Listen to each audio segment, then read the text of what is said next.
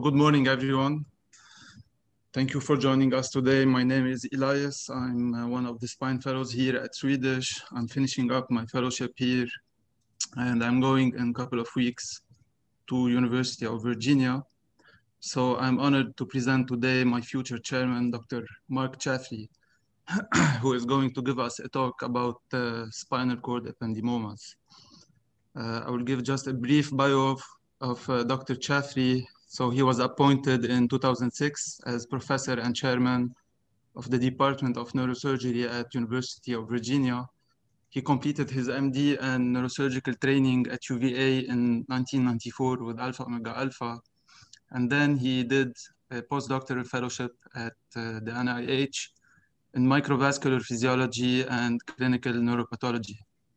He is also trained as a skull base surgeon he did fellowship in Slovenia and he served as a registrar in England. Uh, Dr. Shaffrey also served as the chief of neurosurgery at uh, the Keesler Medical Center as a scholarship obligation for the United States Air Force, uh, where he was decorated with the Meritorious Service Medal in 97. After this, he returned to UVA and he founded the Neuro-Oncology Center and the, the Neurosurgery Clinical Trial Office. He also co-founded in 2010 the UVA NIH residency program. He is very active in research.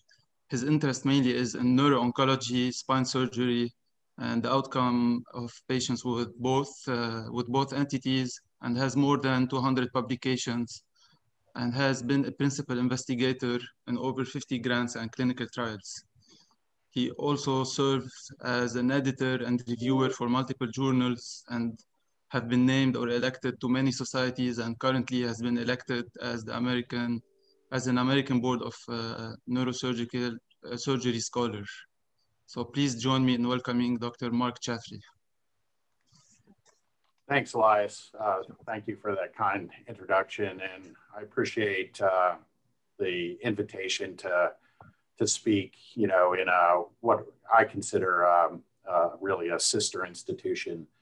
Um, really stands for clinical and academic excellence. And it's such an honor to be asked to, to speak at uh, your virtual grand rounds this morning. Um, I'm going to talk about, you know, some something that really, um, really has been a lifelong interest of mine, at least career-long interest, and that's spinal cord tumors. You know, I, I've always been, as Elias said, uh, interested in tumor surgery, also have developed over time a, a strong interest in spine surgery. So, what better uh, topic that overlaps than uh, spinal cord tumors? And so, it's a passion of mine, and hopefully, be able to say a few things that uh, maybe uh, uh, warrant your time this morning. Um, you know, as I said, we've shared a lot of things. One of the things I didn't think we'd share was the weather, and I I, I feel terrible for you that you're having Charlottesville type of weather in Seattle. It looked like you were going to get a break today, and I hope that's the case. But I walked out a couple days ago, and it was 102 at six o'clock here, and it was hotter uh, in Seattle. So um, I hope I hope you guys will will have weathered the storm and doing well. So I have no financial disclosures. Uh, the only disclosure that I do have is one that my brother has labeled me. He said, either you can be a tumor surgeon or you can be a spine surgeon, but you can't be neither fish nor fowl. And, you know, um, I found this uh, graphic online, you know, that is, you know, both fish and fowl, and I found it very interesting. So I think, you know, as someone who uh, aspires to be both fish and fowl, uh, you know, keep my my uh, comments in, in that perspective. So little bit about about closer ties between UVA and, and uh, Swedish. Uh, this is someone I'm sure you're going to be familiar with. This is uh, Steve Monteith, his graduation photo. I kind of checked my records and saw uh, what was in my email, and there was this nice announcement about Steve when he uh, won uh, this nice NREF FUS award. I think when he was in the lab here's uh, one of uh, the graduation party for Steve. And I think here, uh, when Steve was was finishing with, of course, Dr. Jane uh, you know, in the in the center. And of course, Dr. Jane is someone that has tied our institutions together as well. And uh, you know, it was very uh, unbelievable what you know Swedish and uh, SSF did for Dr. Jane and lectureship when he passed. Um, so again, something that really has tied us together.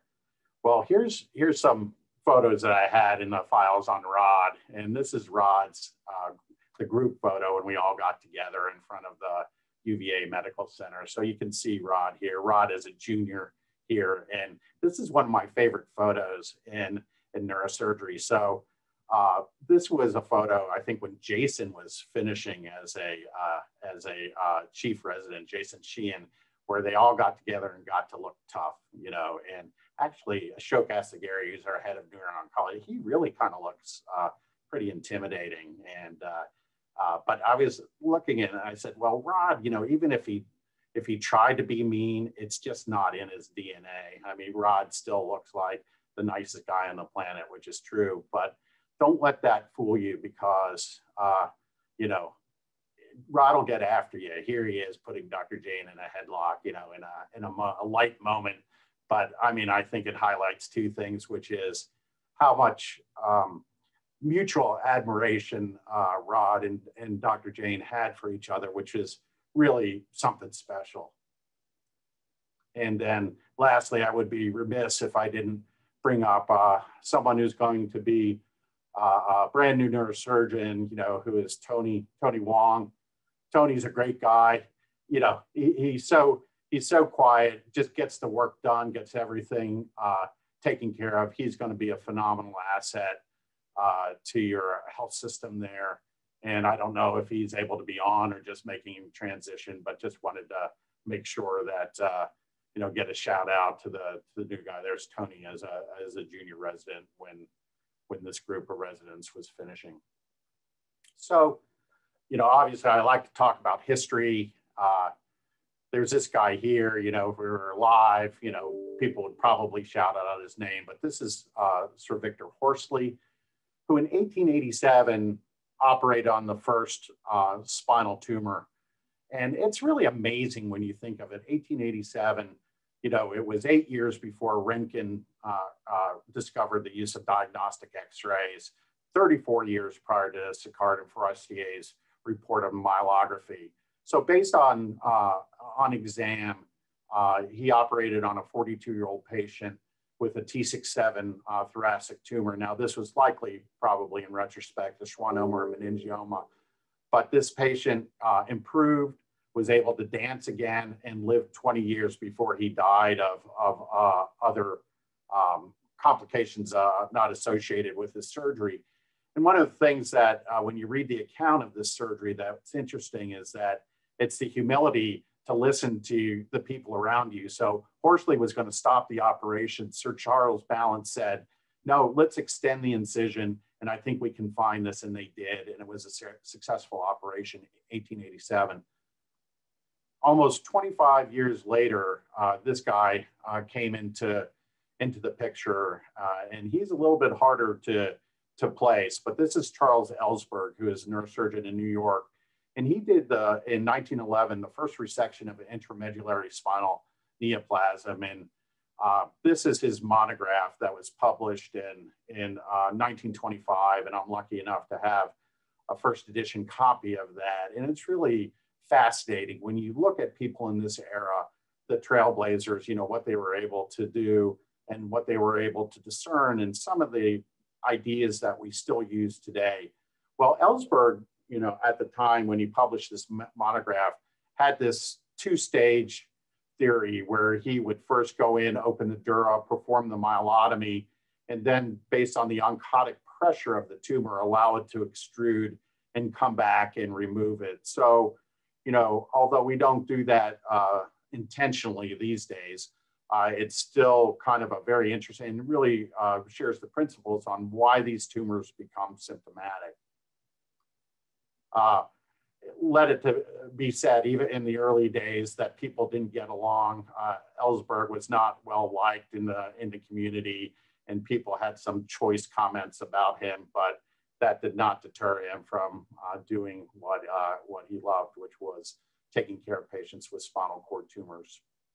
So let's just jump in now to, to uh, uh, spinal ependymomas and really talk more specifically about those. Um, patients generally present with symptoms. A high percentage of patients have symptoms, a fairly small percentage of patients, uh, uh, these tumors are incidentally found, and we can talk a little bit about that. But of those patients who present with, uh, with symptoms, a high percentage of them have neurologic deficits if we look for them. And the presenting symptoms, uh, the number one is actually pain. Uh, it's a little uh, more rare for a patient to come in and say, I have a, a weak arm or a weak leg, although it does happen in about 30% of the, of the cases. Of those patients that present uh, uh, for care initially, if you do a careful neurologic exam, a high percentage of those symptomatic patients will have motor weakness, segmental sensory loss, usually due to uh, syrinx or fluid accumulation within the cord, or sometimes bladder dysfunction. So a very high percent, percentage of patients have neurologic deficits. And if you look uh, in series like this one by Marquardt and his colleagues about what happens if, you know, of all the patients that present, what happens if, you know, a, a cohort of those patients opt for conservative management and what happens is not something that's statistically significant. So what happens happens slowly. So this is the modified ranking score, uh, Rankin score of patients with initial presentation, and you can see about um, oh, you know, 78% uh, of patients, you know, presented with uh, MRS of zero to two, and a smaller percentage uh, MRS of three. And over time, for that cohort of patients that were followed a, median of uh, 48 months, you know, about the same number, you know, are zero, zero to two on the MRS, but there is a percentage now that have progressed to MRS three. And maybe what's a little more concerning to me is there's a group now that were MRS zero that are now either MRS one or two. But overall, that was not st statistically significant and just something to kind of file away as we see these patients and how we're going to manage them. Again, this is a table from that same article, and you can see that the McCormick classification gradually increased and uh, percentage of patients that went on to progress from uh, MRS beyond zero to two definitely occurred.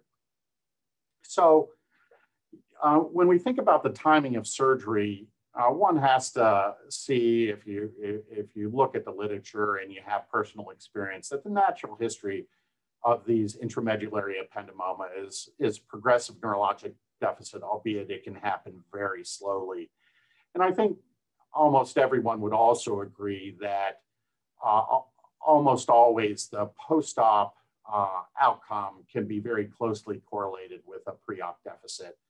Um, although there's a percentage of patients that will improve, stability of disease or worsening can occur. And the more challenging or more difficult the case, the more likely that's going to happen.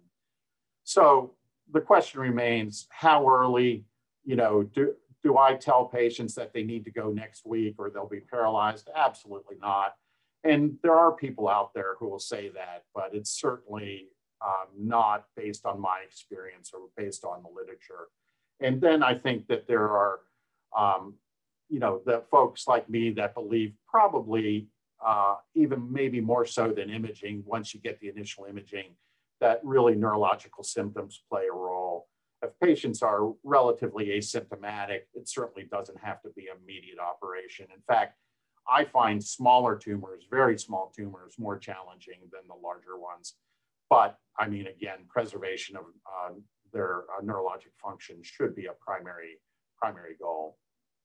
So if you ever want to do a lot of something, you know, one of the keys is really publishing a review article in, in a journal that a lot of people read. So a number of years ago, I was asked to to uh, do a review article on intramedullary spinal cord tumors in Lancet Oncology. And this is just a table from that. But really, the, the reason why I dragged this out of there is really to, to highlight the difference. When we look at an intramedullary spinal cord tumor, we're really thinking about it surgically. How are we going to prepare to do this operation? How big of a surgery we're going to do? And distinguishing between ependymoma and astrocytoma is really important to do. And can you do that 100%? No, but can you do it, you know, way over 90%? You probably can. Astrocytomas tend to be uh, a problem in younger patients in the first couple of decades, uh, a little bit later, uh, spinal cord ependymoma. You know, as far as cystic de degeneration occurs frequently in um, spinal cord ependymoma, also with peripheral hemorrhage that you can see on heme sequences or, or T2, uh, hemorrhage and cystic formation, uh, particularly above and below a tumor, are, are very less, very much more uncommon in astrocytomas. But the real key, I think, is the difference in preparing between a patient who has a great surgical plane potentially and one that's not going to have one in a spinal cord astrocytoma. So the approach is going to be different. You know, I, am much more likely to do a smaller operation, a limited laminectomy in an astrocytoma and look at that debulking. And if you look at the outcome uh, in the literature that we publish about astrocytoma, generally the extent of resection doesn't correlate with outcome and survival in spinal cord astrocytoma. Perhaps, you know, the ones that are more challenging are the anaplastic astrocytomas and GBMs. Uh, you know, it says that 20% in the literature is that, but it's certainly been much less common in my practice. So again, this is just kind of a reminder that for our purposes that virtually all spinal cord, intramedullary spinal cord tumors enhance. Um, nothing generally looks quite like uh, uh, spinal cord ependymoma. I mean, they're centrally located. Uh, they enhance mostly homogeneously, but can heterogeneously. But if you look at astrocytomas and others, they uh, hemangioblastomas, they tend to have a different appearance. And of course, Mets to the cord lymphoma are, are very rare and rarely are mistaken for uh, spinal cord ependymoma. Just a, a, a, few additional features on, on the radiology. Um, cervical and thoracic tumors are virtually all of the cases. You, there can be a, a, tiny number in the conus, you know, certainly seen a couple over 30 years, but certainly not too many. So generally, you know, they are in the cervical or the thoracic cord and a, a pretty, pretty significant majority in the upper thoracic and, and the cervical cord. Uh, the, as we said, one of the things for sure is that generally we will see edema, which can cause symptoms or can cause uh, syringomyelia. Uh, but the central location is really one of the things that is really almost 100%. Uh, we can see these fluid collections, rostral and caudal, to our tumor. And, you know, again, although all enhance, um, not all of them are homogeneous. They're not a, all a bright white spot like a hemangioblastoma would be. And I would say, you know, over the years, I've seen, you know, a half dozen, maybe more cases of, uh, of tumors that, uh, of quote unquote spinal cord tumors sent to me that are uh, enhancement after uh, dinging the cord on a, uh, on a spondylotic ridge. I had a guy who went, who did 500 sit-ups a day and would pull his head forward. He had degenerative change. He had enhancement in the cord. And of course, it turned out, I said, nah, we're not going to operate on this uh, right now. And I said, stop doing sit-ups for a couple of months. And of course, it went away. So just remembering there are other things like inflammatory transverse myelitis, uh, demyelinating disease that can enhance. So everything that enhances is not a tumor, although almost all tumors enhance. So um, just to show a couple pretty pictures of, of, um, of pathology, because we all love that, especially people who, who've been to UVA. Uh, it was a passion of Dr. Jane's. We have a great division here, but most, you know, 95% of ependymoma are WHO grade two. Uh, spinal cord intramedullary tumors, obviously there's a significant percentage of all ependymoma that are myxopapillary and WHO grade one, but those are going to be in the region of the conus. I mean, the, uh, the filum or the tip of the conus. So, um, so about 50% of intramedullary uh, tumor will be these WHO grade two tumors. And then a smaller percentage will be WHO grade three, which are tend to be very bad actors and difficult to control. So here's a, uh, one of our nice pretty pictures of a WHO grade two tumor and to remind people that uh, rosettes are very common, but not the true ependymal rosettes, but rather these uh, ependymal pseudo-rosettes that are centered around blood vessels. So I saw these are courtesy of Dr. Uh, Beatriz Lopes, who, you know, some of the crowd will remember her name, you know, who have been uh, affiliated with UVA before. And so I asked her, you know, what, what's the ratio of pseudo rosettes to true ependymal rosettes? And she said at least 100 to 1. So the others, the true ependymal rosettes uh, that really form a lumen from ependymal cells, very uncommon. And things take a very much a shift into a different gear when we talk about WHO grade three. You can see the aggressive nature of these with nuclear atypia, with uh, endothelial proliferation here in these tufts. So a whole different kind of tumor and a much more scary, concerning appearance. And if you look under high powered field, you can see, um, you know, uh, uh um, these uh, uh, different uh, signs of cell division where we're seeing uh, uh, these mitotic figures. And of course, we can do our staining with Ki67 or another MIB1, you know, that tells us, you know, it's a much more highly proliferating tumor. Uh, we know that the genetics of spinal cord tumors are way different than, than um, those of, of their cranial counterparts.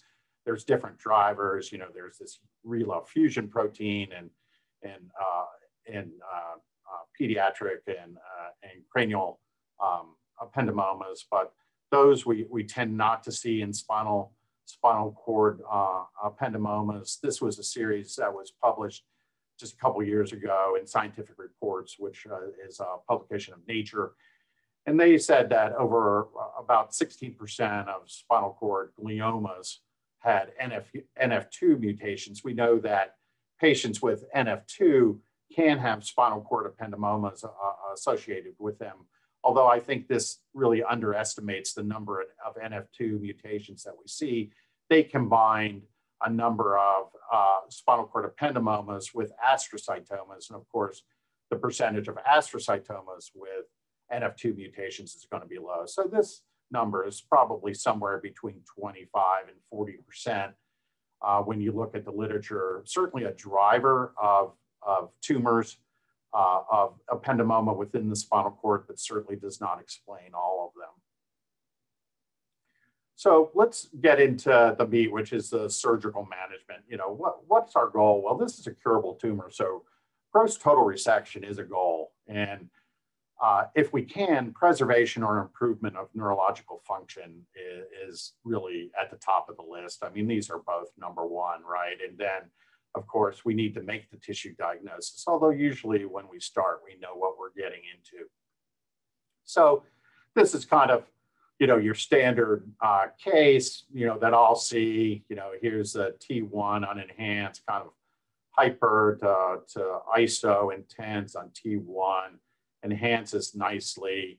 And if you look at the T2, quite a, quite a significant amount of uh, rostral and some caudal um, uh, tumor you can see here. And we're just going to kind of skip through a couple of, uh, of uh, videos here, if I can get it going. Here we go. So, you know, I think, uh, you know, number one, when you're approaching one of these tumors is identification of the midline. And that can be done in a lot of ways, but you know, looking for the microvasculature that emanates from from the uh, dorsal median sulcus is the way that we usually use. We try to sparingly take any vessels on the cord, but sometimes it's unavoidable. And then, you know, I'll use a sharper forcep of some kind to develop that dorsal median sulcus between the uh, uh, between the two dorsal columns at times the, the uh, pia can be quite sticky. And so, you know, although I started out using a diamond knife, you know, at times I'll use a micro scissors to open that up. And you know you're doing well when you can see those micro vessels on either side of the dorsal column. You know you're splitting right down the middle. it's not uncommon that as you're dissecting, you'll get some degradation in, in your SSEPs, but that's a topic we'll cover um, in a little bit. And again, I put this little diagram of the uh, spinal cord and the tracks up here just to remind ourselves the important ones that we're going to see. The first one, of course, being the dorsal columns. So let's talk a little bit of, uh, what did advance? Oh, I just wanted to mention too at the end of that slide, you know, if you get a really dilated spinal cord, big syrinx, I mean, you're using neuromonitoring, use it for a reason. I mean, you can stimulate the dorsal columns and record either distally or you can stimulate and record proximally and look at a phase reversal. And as you move from lateral to medial, you can easily map up the, out the spinal cord. So if you get one of those difficult uh, cases, don't hesitate to use your neuromonitoring for another purpose uh, during the operation. So here's uh, the, di the dissection phase. And you know, developing this plane a lot of times is not challenging. Uh, they really want to come, as Elsberg pointed out, they really want to come out. But, you know, it's always important to remind yourselves of where the corticospinal tract is and the spinothalamic tract. And really remember the, the lasting deficits that are going to be important likely are going to extend uh, from, those, from that dissection that's laterally as you head around to the anterior part of the cord people do these differently. You saw, you know, debulking the tumor, whether you do it by scissors, whether you do it by uh, just touching it with an ultrasonic aspirator is really important and helps you develop that really pristine plane between the spinal cord and the tumor. Um, you know, the times you really get worried, honestly, are when you lose that plane. And we'll talk a little bit more about that in our monitoring. And then just kind of a a last thing, not to really just show the tumor roll out, but just to remind me to talk about that the uh, rostral caudal ends of the tumor to me are the most challenging. You want to limit your myelotomy, but really these are the areas when I see residual in my cases where I could kick myself that I didn't make the appropriate myelotomy and make sure I reached the edge of the tumor and, and you know, and removing it. And really that's that's kind of the, the, the end of the surgical videos. So, you know, can we improve the resection rate? I mean, this is a curable tumor. And if we look at the literature, the resection rate, gross total resection rate is about 85%. I'm like, you know, couldn't or shouldn't that be better? Now that may take all comers, may take some grade threes in there, that are more difficult and may take some NF2 cases. We'll talk about that briefly. But, you know, are there ways that we can improve the gross total resection rate? And, you know, we almost all use intraoperative ultrasound. And although this is an older paper and this was a cavernoma, I kind of wanted you to compare the imaging we tend to get, you know, during surgery with ultrasound with an MRI. And I think, you know, it's not even, you know, close, obviously.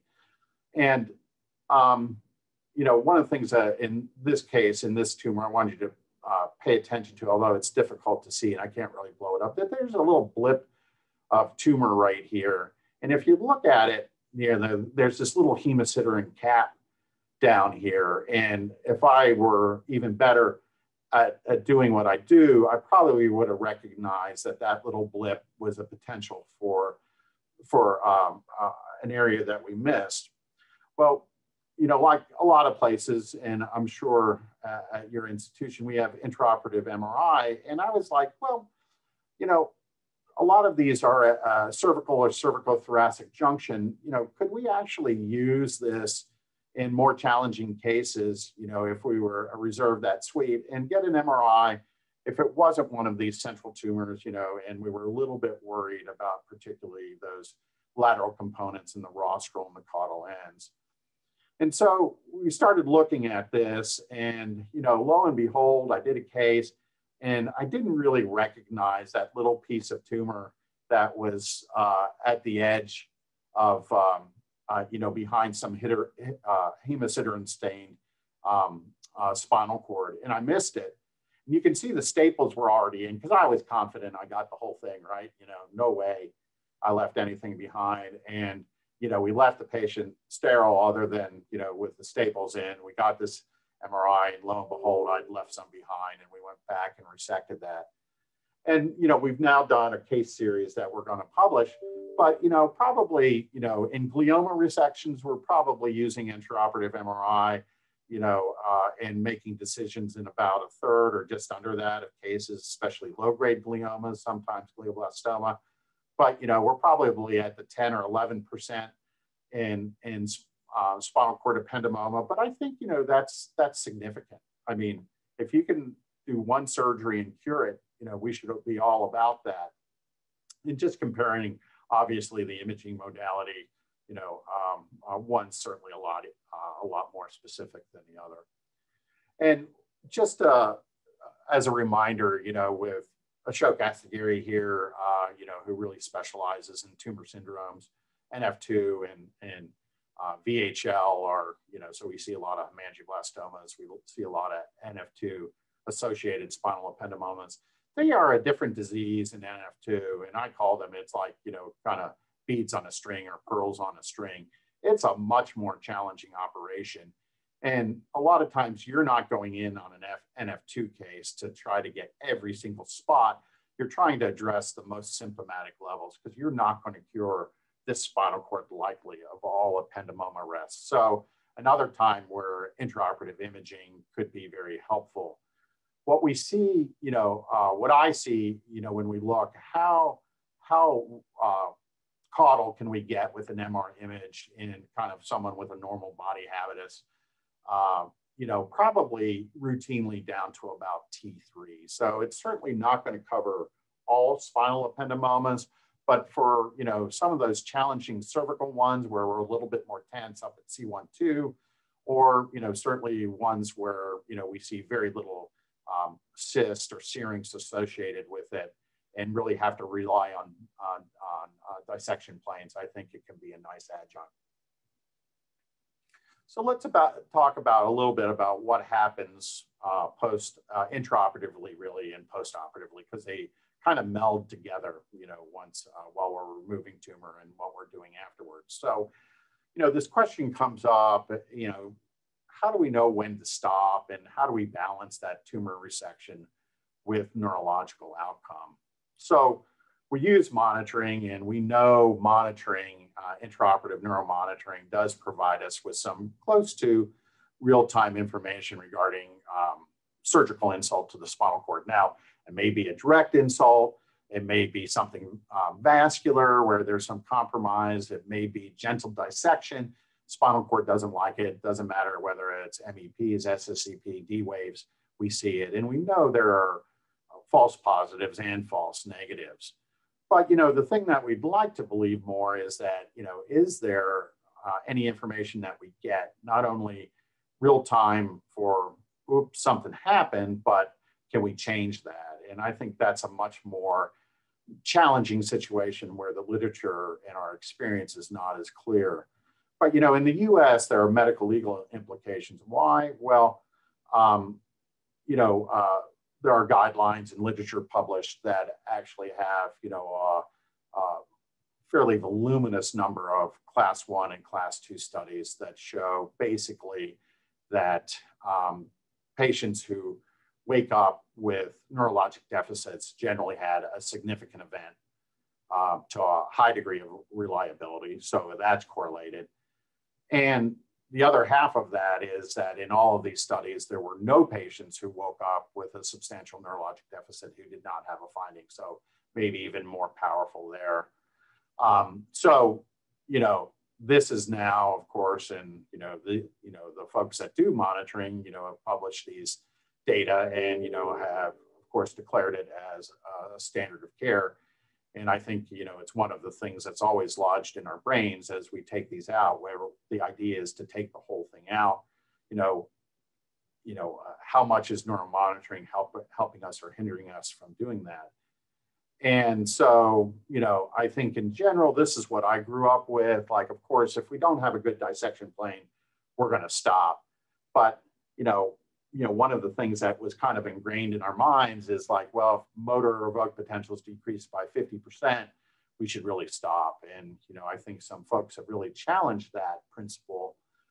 And one of the uh, publications that I found to be interesting uh, was this one by Park and colleagues, where they kind of developed, you know, a set of criteria where either they looked at patients who stopped at the 50% decline or those that allowed uh, the decline to continue to below 50%, uh, which resulted in a higher percentage of tumor, uh, gross total tumor resection, and, uh, and basically only stopped if they uh, completely lost motor signals.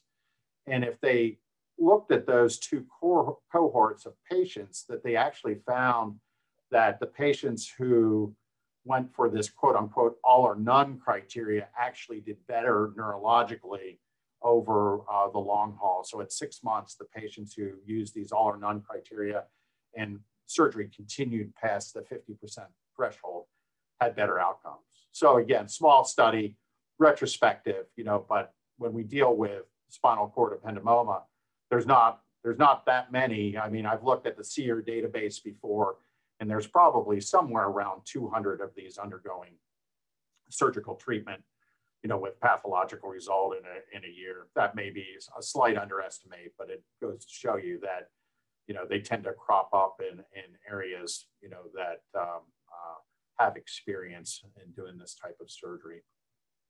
So, you know, if you look at most series, some deterioration of motor uh, function is, is generally reported. It's the one we worry about the most, although dorsal column dysfunction and loss of proprioception and uh, dis disruption and, uh, pain and temperature can be very disruptive, but we worry most about you know, the motor function and people ambulating and probably somewhere between most series 15 to 20% have long-term neurological deficits after surgery.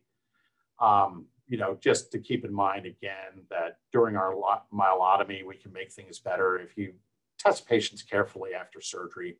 Most will have some type of proprioceptive uh, deficit. Uh, fortunately, most improve if we get that right during the dorsal column dissection. Spinothalamic tract, uh, you know, we probably pay less attention to that, but it certainly uh, occurs as well.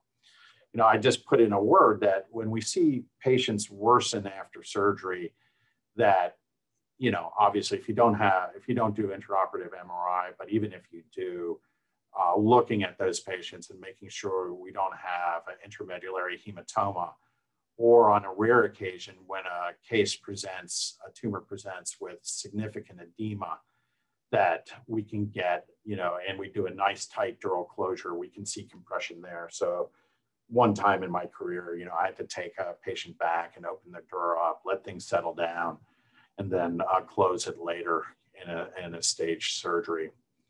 You know, overall, people tend to, to get better, although I think there's this three month rule uh, where sensory deficits tend to be fixed at three months uh, and uh, motor deficits still may improve. I find motor deficits can improve probably out to about 18 months. Uh, sensory deficits are just so much more difficult, and I think that depends on whether this is a dissection injury to the spinothalamic tract or a dorsal column injury, because I do think those dorsal columns tend to improve with, with time, uh, which with a, a much greater uh, rate. So what's our evidence though that we can improve with, um, uh, you know, if, if our neuromonitoring colleagues tell us that we have a decrement or we've lost signals, what can we do? There's no class one or class two evidence that say we can change their outcome, although we all have that laundry list of things we do.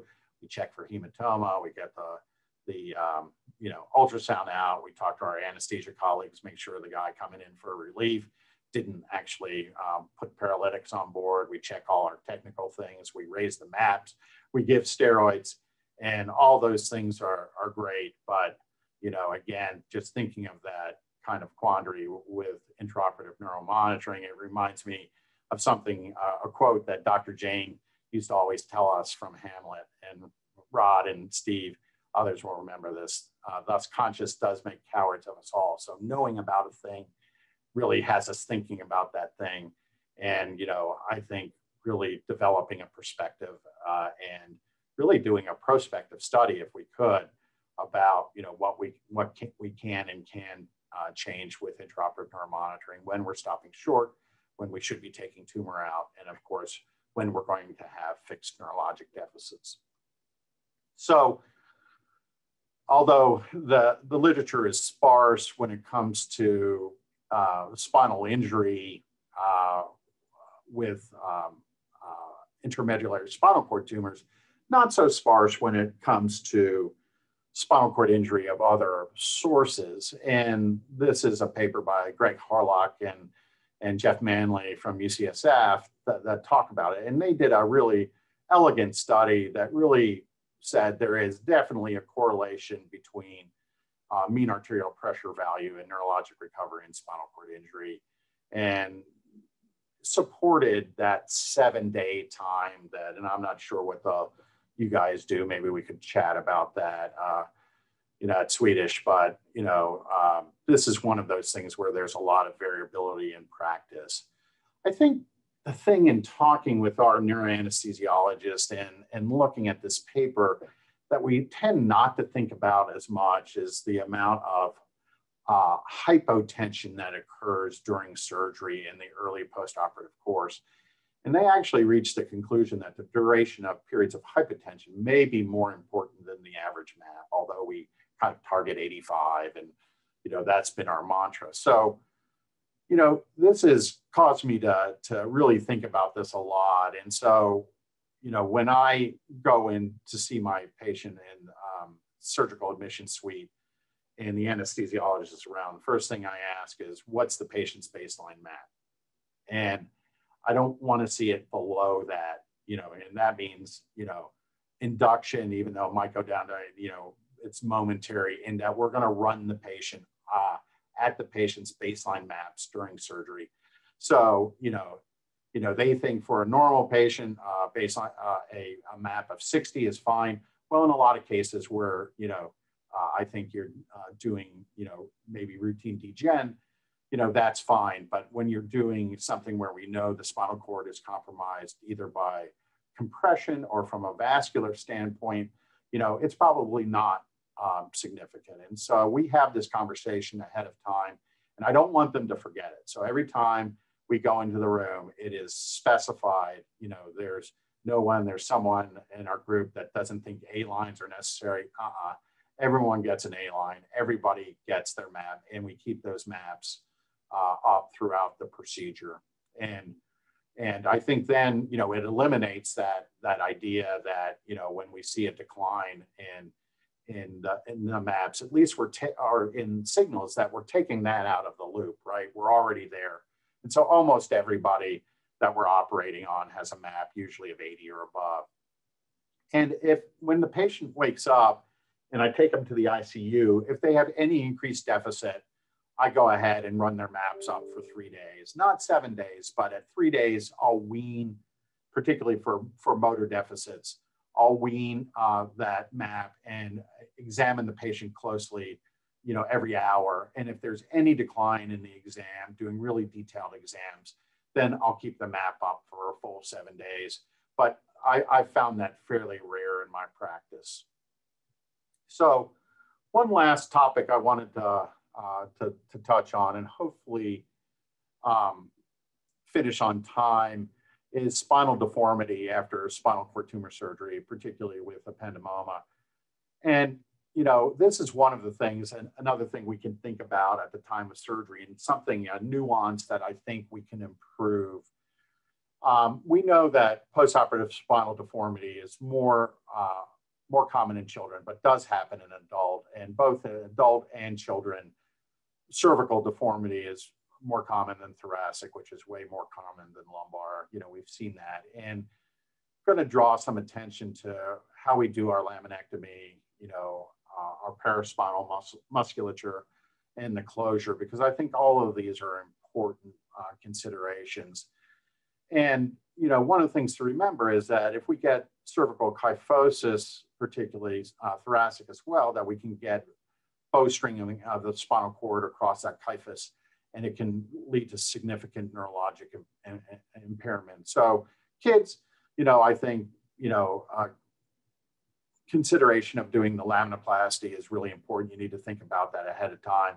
I tend not to do a lot of kids in my practice, but you know, I think one of the things is is that even in adults that we want to fix this early because we know what happens. I mean, there's a lot of uh, people who do spine surgery, and uh, we know what that gets us into. So, just a reminder, you know, that the the cervical um, spine has normally about 15 degrees of lordosis, and because of that, that the the weight bearing axis is actually posterior to the vertebral bodies, and so as opposed to lumbar spine, uh, load tran- uh, transmission is a smaller percentage, uh, a little more than a third through the anterior column and much more uh, load transmission through the posterior columns. And we need to keep that in mind and let it guide how, how we do these operations. So, you know, obviously with, with kyphosis, the, the, the, the musculature, especially in patients who have had laminectomies, tend to go from a force of extension to one of flexion. And that's why, you know, we'll talk about, you know, repair of the musculature and layers carefully is really Im- important to do because it's still providing a, a, significant amount of stability to the spine, maintaining alignment, and of course, you know, muscular diastasis. Whenever I see it, it is one of those warning signs we're going to have a problem. So, what are the risk factors for having deformity after um, after um, uh, ependymoma surgery? Um, pre-existing kyphosis is certainly one of those that we have to keep an eye on. In fact, I have that conversation with our older folks who have significant degen. And then, you know, the more remo- we remove of the lamina and, and the ligament, you know, whether it's interspinal ligaments, whether it's um, um, uh, ligamentum flavum, you know, has an effect. And we have to keep in mind, we have to know this tumor and that knowing that we don't need to expose the whole syrinx. We can just expose the solid part. We're doing a midline um, myelotomy. So why do we need to take more than 50% of the facets? So carefully taking our facets, if we're going to do, you know, um, you know, uh, drill troughs out, make sure we know where those facets are and try not to compromise those facets except for the, the, the smallest uh, number of levels and make sure that you know we try to keep you know less than you know 25% or less uh, facet compromised when we do our laminectomies. And this is something that Chris used to pound into the residents. Like he said, all you residents think that you know there's just this one amorphous neck muscle, and you just put big O ovicral sutures through the whole thing and expect it to, to perform the way it normally does. And that's certainly not the case. There are layers of muscle that we need to close sequentially in order for them to, to function optimally.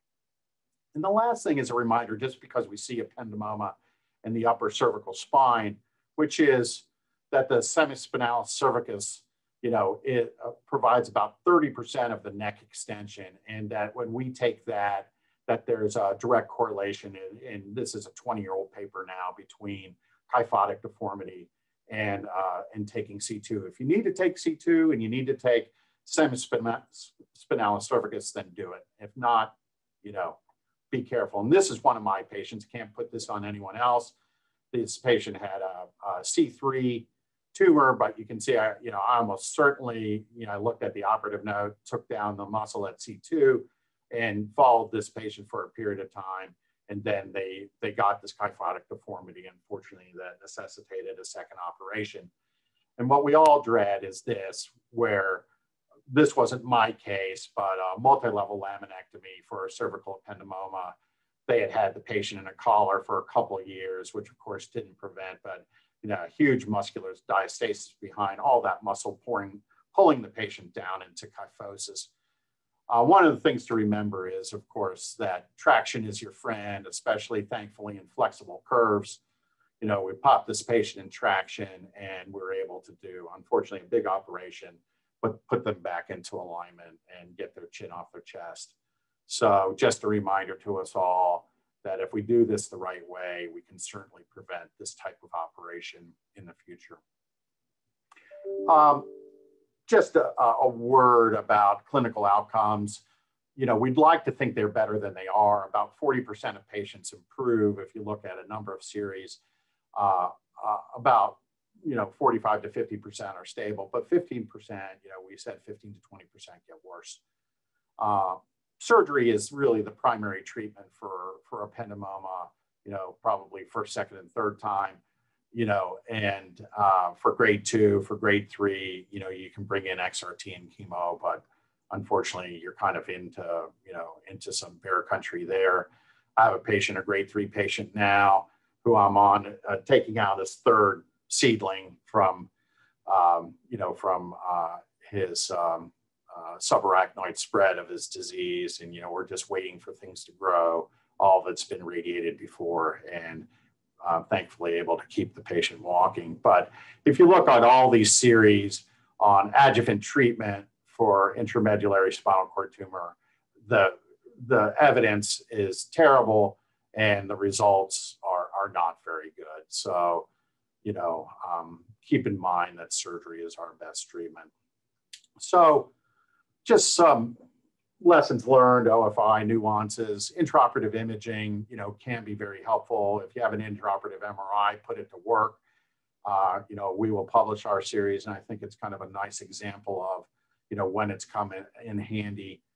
Um, you know, because our goal is gross total resection of these tumors that although intraoperative neuromonitoring gives us some insights and it's directly correlated to immediate postoperative outcome, you know, it's our legal standard of care and there is some evidence that that, you know, that 50% mark may be keeping us from doing uh, better tumor removals at times where you know, that is going to be a better, a bigger determinant of outcome. And make sure you develop a mean arterial pressure strategy before you get in the room that you're going to follow during surgery. So here's this all or none approach that Park advocated, you know, in his paper. So remember that in the end, it's direct observation or tumor plane that probably is our biggest guiding line, uh, our, our guiding light. And finally, you know, if we're going to prevent spinal deformity, uh, let's you know limit the laminectomies, spare the C2 musculature if possible, do those laminoplasties, especially in kids. And remember, you know, the, the wall of those syrinxes are, are non-neoplastic. And um, so don't have to expose all those. So that helps us. Um, I've started closing all my cervical cases with uh, longer lasting suture like a PDS or a Stratafix. And I will say, I haven't seen a muscular diastasis in those cases since then. So that's definitely been a change in my practice. So present, if you do see progressive kyphotic deformity, fix it early, don't wait it out. We know what's gonna happen. And just a final reminder that first, second, and third best options are for residual recurrent grade two tumor is surgery. So get back in there, a little more challenging, but it'll come out and uh, not that much more challenging than the initial surgery. So I'll end there. I think almost on time.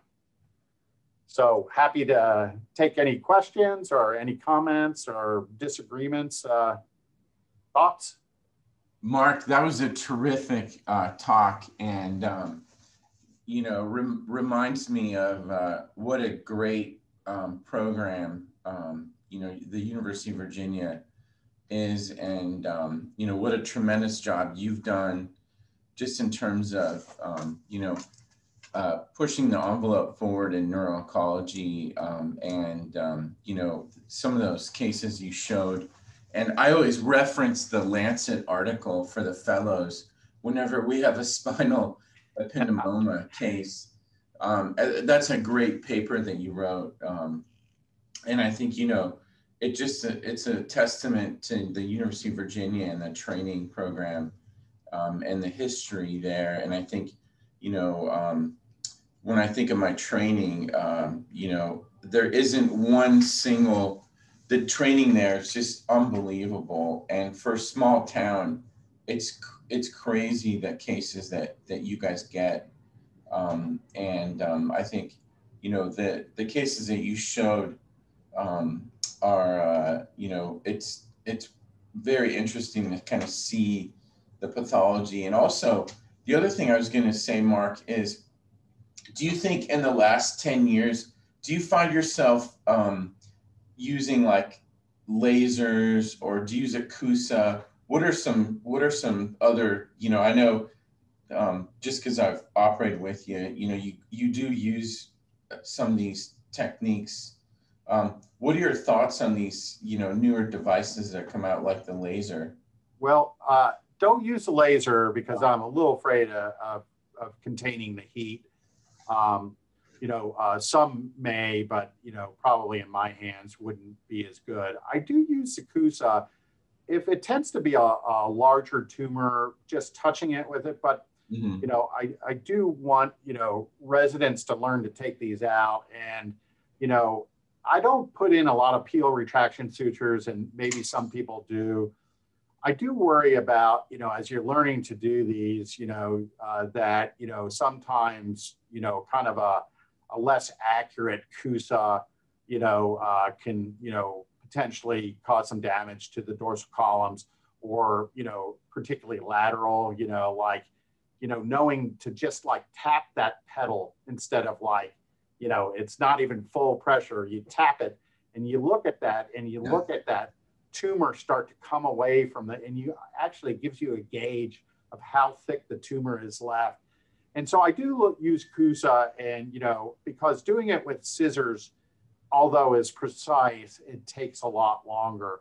So I, I do like the CUSA. I think that, and probably uh, just posting them in the IMRIS suite, you know, and I won't say that, you know, eh, you, we probably, you know, again, you know, it'll come out in the paper, but, you know, we certainly don't MRI everybody.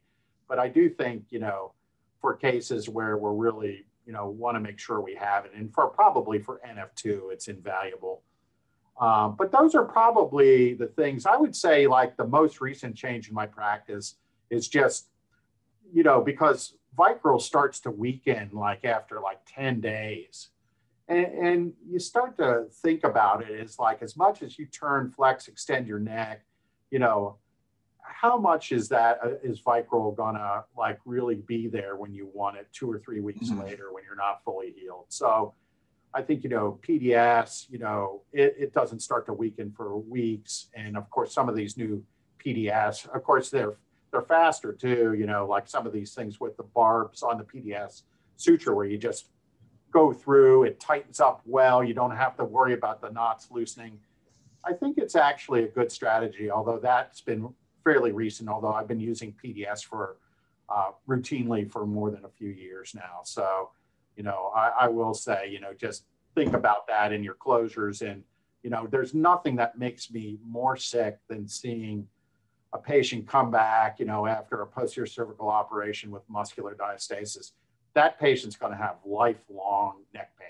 I mean, unless you go back in, pull it all together, you know, which you can do, but you talk to a patient about that, most of them say, well, it's not that bad. Mm-hmm. You know, mm-hmm. but it is, it's a terrible problem. I mean, Rod, what, what do you do or Jens or, you know, you know, do you guys uh, have any strategy there? No, I mean, I think the closure is is paramount, and I think, yeah.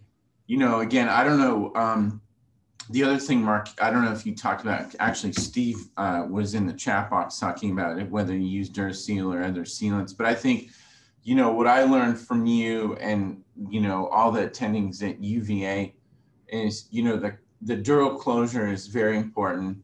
And getting them, you know, I remember as a junior resident, when you would go over with me, you know, all the different layers, the fascia, the muscle, you know, getting a good good closure on those neck cases because it's so important. And some, I think, probably some of those cases, the deformity cases you were showing, I do think they play a, a, a big role in you know them going on and and developing these deformities. So. Yeah, I think I think you're right, and I mean remembering there's three layers to close, you know, uh, not one. You know, again, uh, one of you know Chris never minced words, you know, as you know, but I mean, he would just absolutely, yeah. you know, lay into, uh, you know, people, you know, who, you know, like did the one layer O Vicryl closure, you know, knowing that, you know, it's, it, it really is one of those things that it's a disservice to our patient. I mean, the, it's created in layers for a reason, and Yeah. we need to close it that way. And then one last thing, Mark, um, is what are your so just if it's three levels or more, is there a cutoff? Like when do you think about fusing someone, or do you try not to kind of? I, I try not, you know, that's to me, Rod, more for uh, a consideration I have for intradural extramedullaries, you know, a Mhm. dumbbell schwannoma or, Right. or uh, Right. you know, you know, I, I tend to think, you know, because then the facet's already generally enlarged uh, or thinned at that level.